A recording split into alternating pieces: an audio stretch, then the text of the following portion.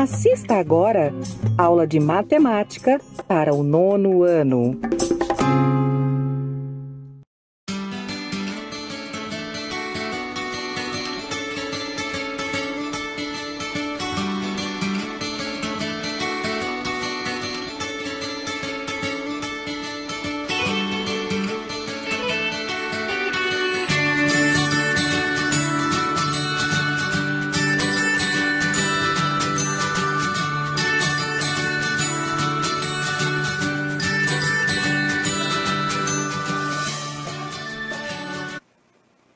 Olá pessoal, tudo bem com vocês?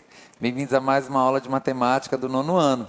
Eu sou o professor Cássio e hoje iremos para a nossa aula 2 sobre números incomensuráveis, né? os números irracionais. Vamos lá? Gente, então continuando a nossa aula anterior, lembra que os pitagóricos né, descobriram lá um número irracional ao tentar calcular aí a diagonal né, de um quadrado com o lado inteiro? Então olha só, a descoberta de um par de segmentos não comensuráveis, como o lado e a diagonal de um quadrado, geraram uma crise na matemática. É, pessoal, naquela época eles não aceitavam, né? Os gregos, os pitagóricos, não, não aceitavam que, como isso, né? Como que a medida aí de um, da diagonal dá um número não inteiro? Eles não aceitavam.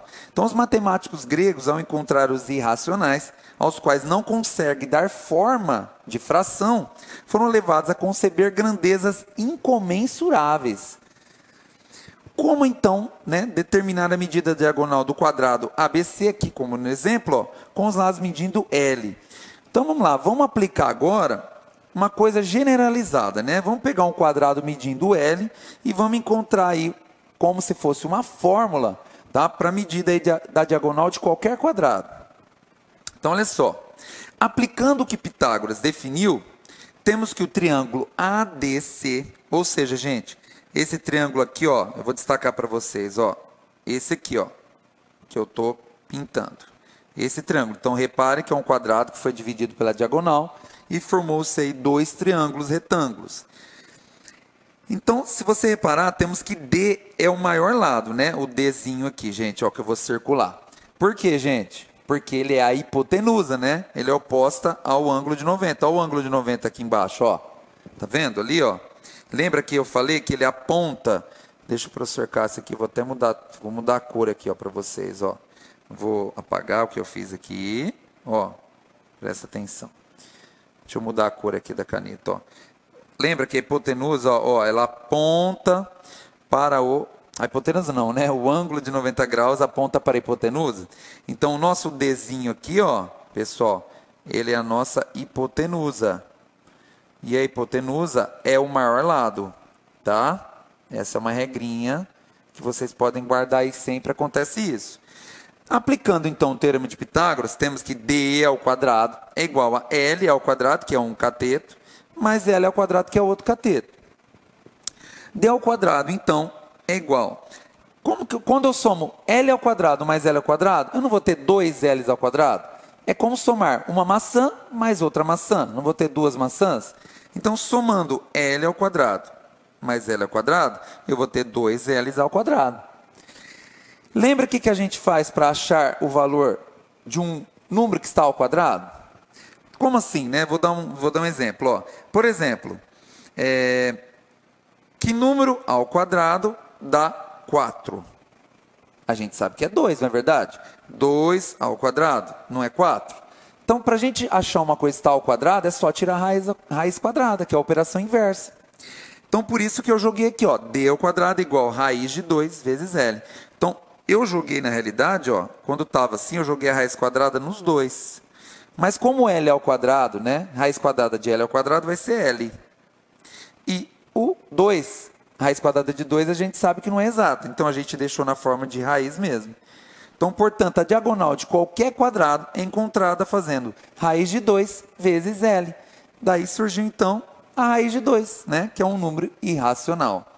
Certo? Então, tá bom. Logo, a medida da diagonal de um quadrado é sempre igual ao produto de raiz de 2 pela medida do lado do quadrado. Reforçando, então, a diagonal de qualquer quadrado vai ser raiz de 2 vezes L, que é a medida do lado do quadrado. certo?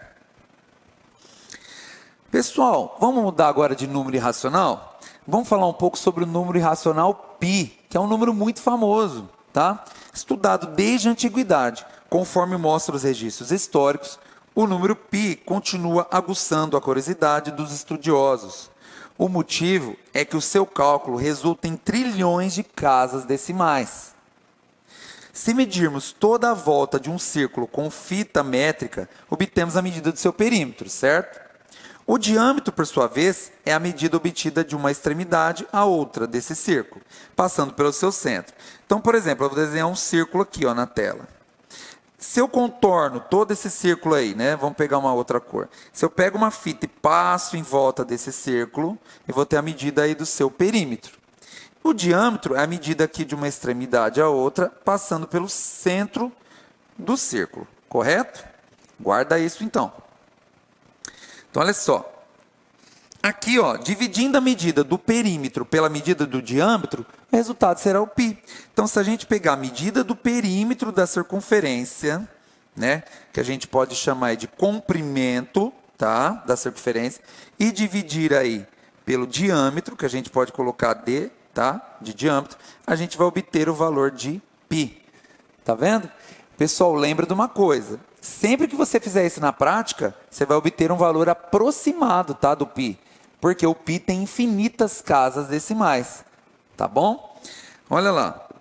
O número pi, representado por essa letra grega que está aparecendo aqui para vocês, é um número irracional, cujo valor é então 3,14, 15, 9, 2, 6, 5, 3, 5, olha, infinitas casas. Ou seja, uma sequência infinita de dígitos, tá? Olha só, voltando aqui na tela. Pessoal, uma curiosidade para vocês. O número π, ele era utilizado, e até hoje é utilizado, para calcular a potência de um computador. E isso daí é, trouxe, né, nas últimas décadas aí, eles conseguiram calcular milhares de casas decimais. Se vocês pesquisaram pesquisarem isso no Google, vocês vão descobrir isso. É muito legal a história do pi envolvendo a computação. Tá? Ela traz essa curiosidade, tá bom? Pessoal, espero que vocês tenham gostado da nossa aula de hoje, tá bom? Não esqueçam, hein? Deixem um like, se inscrevam no canal e deixe seus comentários aí, que a gente lê e responde assim que puder. Tá certo? Obrigado por ter assistido até aqui e até a próxima, pessoal. Tchau. Escola na TV. Até a próxima! Acesse outros conteúdos em nosso canal no YouTube.